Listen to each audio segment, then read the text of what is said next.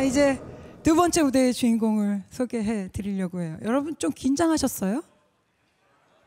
여러분들 갑자기 너무 아, 영어로 된 노래라. 곡목 소개하는 저는 오죽하겠습니까? 자, 두 번째 무대의 주인공은 바로 에이조의 강력한 청일점 국카스텐입니다. 어떤 팝을 준비하셨나요? 더 제목이 뭐였더라? 영어라서 팝송이잖아요. 되게 많은 걸 포기하게 되더라고요. 어, 멜라니 사푸카의 더 Saddest Thing이라는 노래. 목소리가 세계적으로 가장 슬픈 목소리를 가지고 있는 가수라고 하더라고요. 사랑의 이별의 그 아픔을 안고서 혼자서 침대 위에서 이렇게 가만히 이렇게 얘기를 막 이렇게 하는 것처럼 이렇게 들리더라고요. 너무 매력적이라서 이거를 국카스텐이 편곡을 하면 어떻게 될까 되게 궁금했었어요. 들었다 놨다 들썩들썩하게 만드는 국카스텐이 과연 The Saddest Thing을 어떻게 오늘 표현해 줄까요? 큰 박수로 모셔보도록 하겠습니다.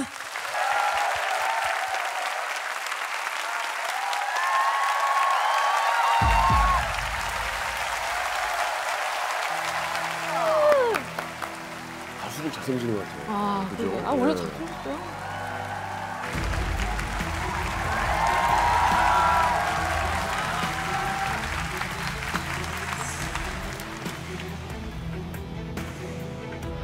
팝송을 편곡을 했는데 되게 국악처럼 나왔어요. 아젠이라는 악기하고 가야금을 준비를 했어요.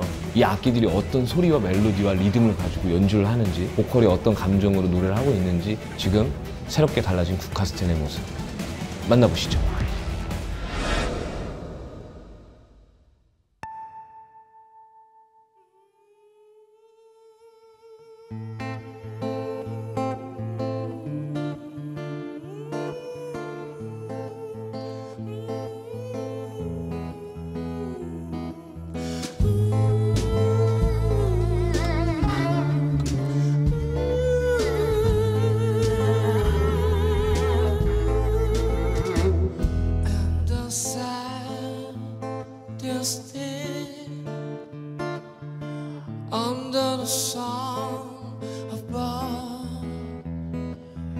To say goodbye to the ones you love.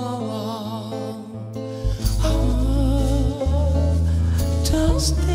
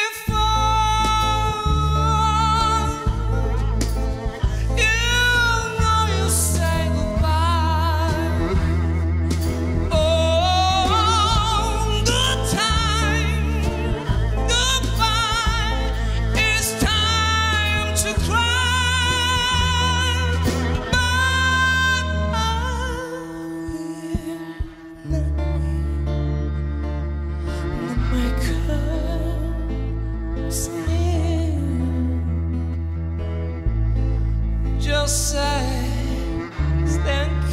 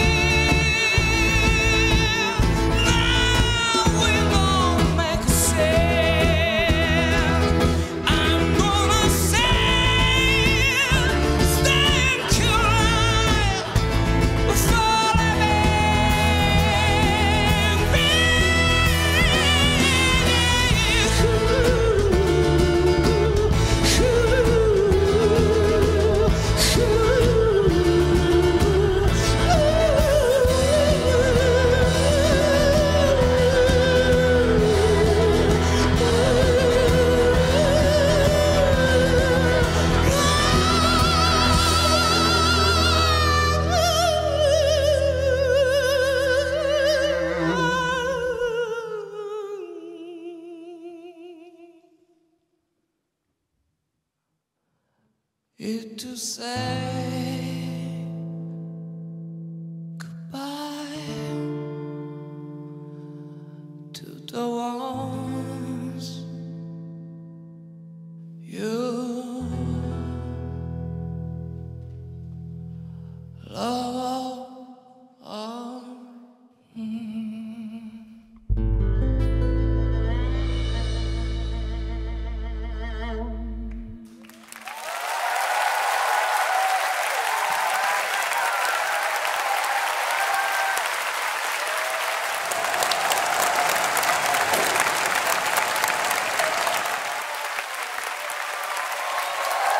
릴렉스하게 사람을 만드네. 릴렉스하게 그죠? 예. 국카스텐의 새로운 모습인데요. 예. 이상하게 왜 나가수는 회를 거듭할수록 더 떨리는 걸까요? 하, 오늘은 당당한 컨셉으로 가면 안 될 것 같습니다. 겸손한 컨셉으로.